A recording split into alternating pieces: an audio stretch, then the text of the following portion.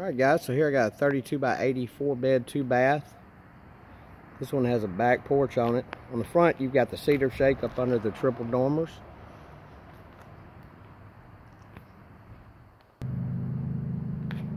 And on your back you got a beautiful porch. It's optional. If you wanted a second living room, you can put it in that spot. Let's go check out the inside. Alright, so we're coming through the front door.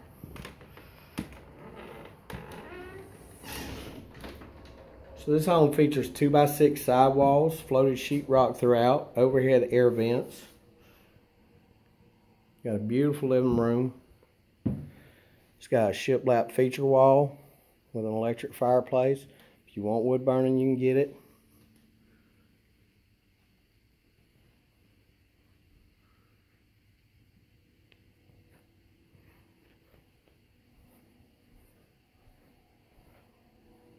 So you got plenty of spot in your dining area for a 10 man table.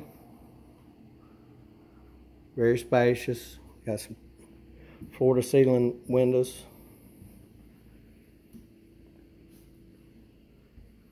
I've always loved this manufacturer's cabinet packages. They do real big pot and pan drawers.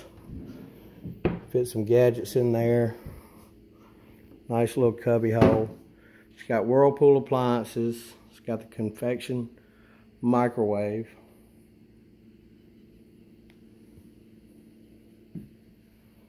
I used to call it a confectioner's microwave and people made fun of me. So I'm very conscious about getting that right from now.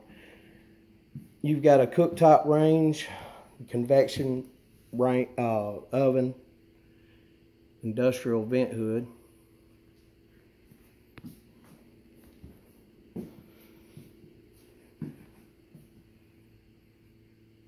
Let's look at your laundry real quick. It's your water heater and furnace. Got what I call a Christmas tree closet.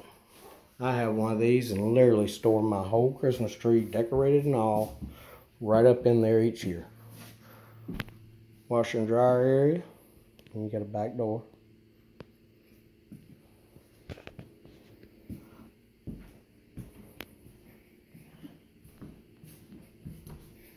I know that sounds sad about the Christmas tree, but I decorated on Thanksgiving in about five minutes and I was done.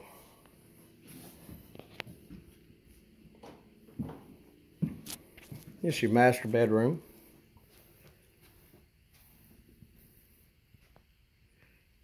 It's going to be about 15 by 17. Master closet. Got a little dressing bench.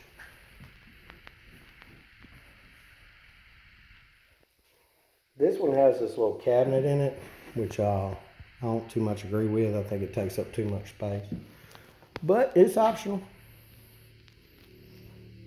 Check out the master bath. Now you get that beautiful barn door to go over the master bath. Ties in nicely with the tile.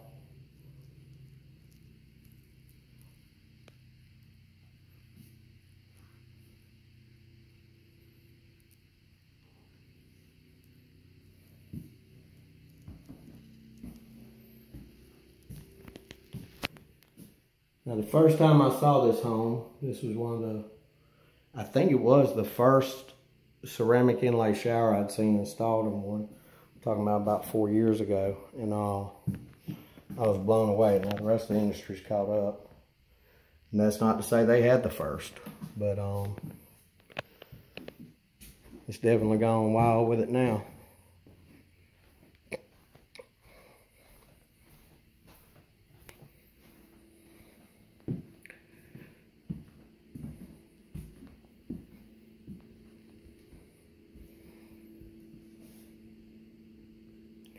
Now, if you did not want that porch, all right, right there at this arch, get my finger in the picture, that's where your living room would start, okay? And it'd be open all the way back.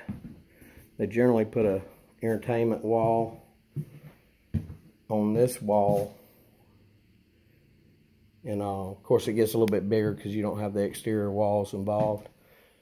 This is the first of the spare bedrooms. It's going to be 10 by 12.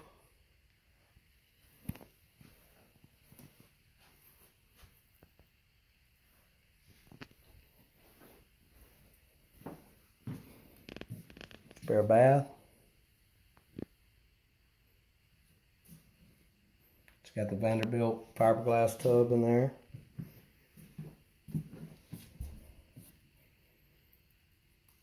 And this bedroom is going to be 9 by 12 with a big walk-in closet.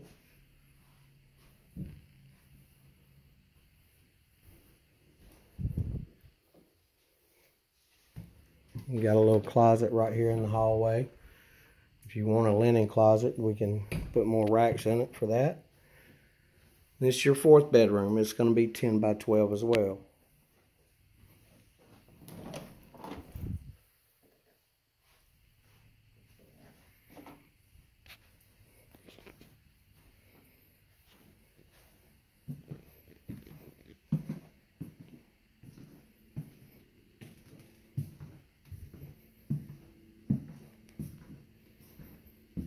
What, what, what? Guys, y'all know that's one of the finest mobile homes you've ever seen.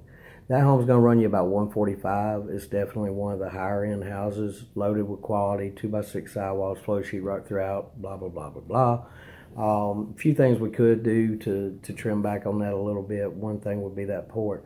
And if you'll go back to the beginning of the video, you, you'll see a picture of the den, uh, which is the option without the porch. But anyway, great house for the money. Uh, cost you twice that to build it in a stick-built home. So um, give me a call.